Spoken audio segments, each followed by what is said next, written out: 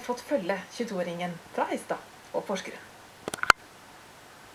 You are like a sunset behind a mountain somewhere.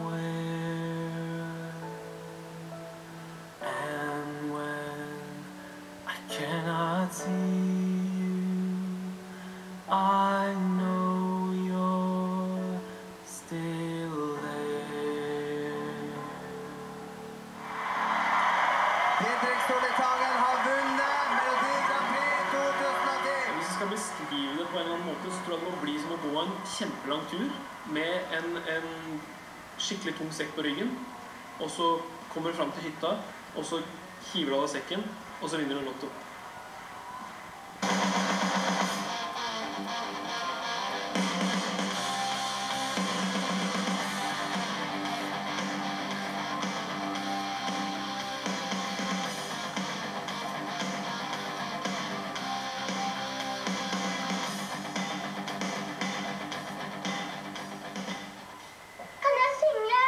Syng da. Mamma, jeg må tisse, må du dimle den? Skynd deg under seng, opp da tisse på ta frem. Skynd deg, skynd deg, eller går det galt?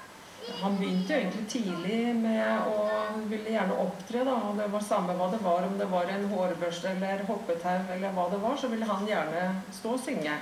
I bursdager eller på andre opptredener.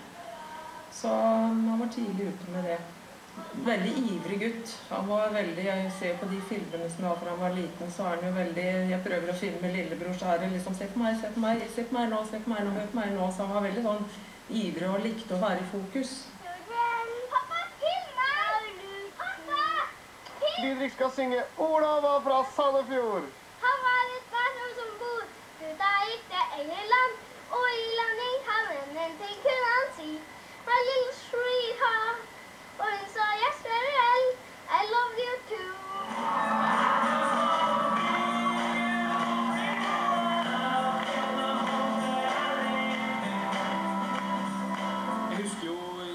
Av ungdomsskolen så var jeg med i noe som heter eh, Barnas Grand Prix. En sånn lokal konkurranse i Grenland som, eh, hvor jeg da sang Robbie Williams med fin. Og eh, mamma ville jo da at jeg skulle i studio og spille dette her. For at vi sa Det er ikke sikkert du har den stemmen her for alltid. Sånn at vi dro til Larvik, vi spilte inn og ga julegave da, til alle i familien. Det var veldig koselig.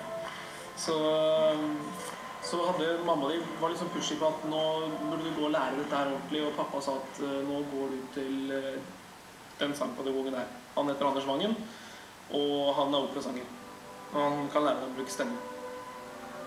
Og jeg tenkte at opera skal jeg i hvert fall ikke begynne med. Jeg var 16 år. Hip, spilte fotball. Opera var liksom det siste som jeg skulle drive med. Jeg husker godt de første timene, og Didrik kom vel hjem som litt eh, halvunken til det hele. Han skulle jo bare lære sangtekniske ting, eh, men eh, etter hvert så fant eh, Anders eh, fram til noen eh, kvaliteter. Han eh, var jo ikke bare sanglæreren min. Han hadde lærte meg sp- spise, holdt jeg på å si. Altså bordmanerer. Eh, kultur.